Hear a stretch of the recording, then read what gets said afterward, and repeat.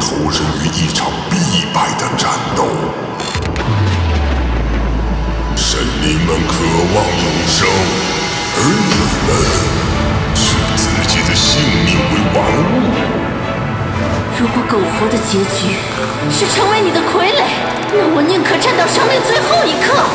你可以选择做一个反叛者，但结果不会有什么不同。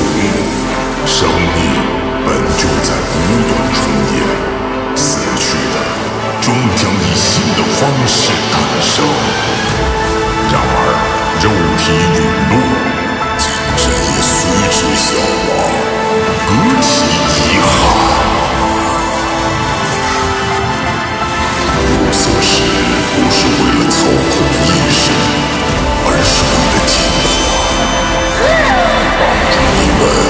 成为神灵